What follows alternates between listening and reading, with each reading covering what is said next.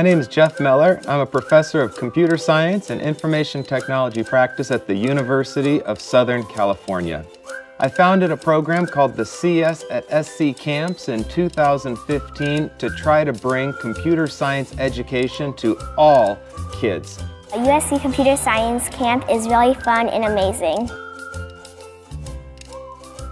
We are so grateful that my daughter can learn coding. It's made such a huge impact on her learning, drive, and motivation.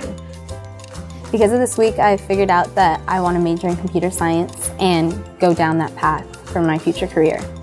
Camp is very fun. It feels like we're having an adventure, like we're making an adventure for our characters. This is our third year here. Both of my boys have been very excited every day. We will be back next year.